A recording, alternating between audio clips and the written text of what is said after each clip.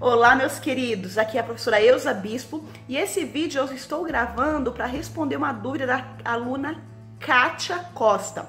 Qual é a dúvida da Kátia? Ela me perguntou o seguinte: professora, na minha empresa eu tenho um trabalhador que tem ensino primário, porém em consulta ao CBO mostra que é exigido ensino médio. Como fica?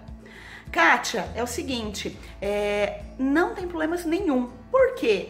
Há riscos quando você precisa contratar um trabalhador que tenha formação superior ou profissão regulamentada, né? E que você contrata alguém que não tem essa formação requerida. Até mesmo porque se a sua empresa for obrigada a contratar aprendizes, ela está mascarando a cota de aprendizes.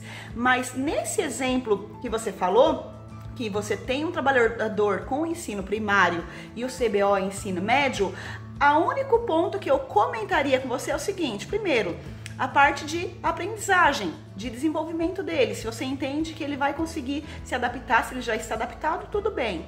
Outro ponto, segundo ponto, a questão de auditoria interna. Muitas empresas contratam auditorias ou até mesmo fornecedores né, e clientes, e quando passa por essas auditorias de clientes, ela normalmente eles validam o que está na descrição de cargo, a formação requerida, se está de acordo com aquilo que a pessoa tem. Então, essa seria uma dica, tá? Mas em relação à multa, à autuação por parte do Ministério do Trabalho, não, porque você não está descumprindo nenhuma lei, tá certo? Quando nós vemos ali, é mais no sentido uma orientação, fins estatísticos do Ministério do Trabalho.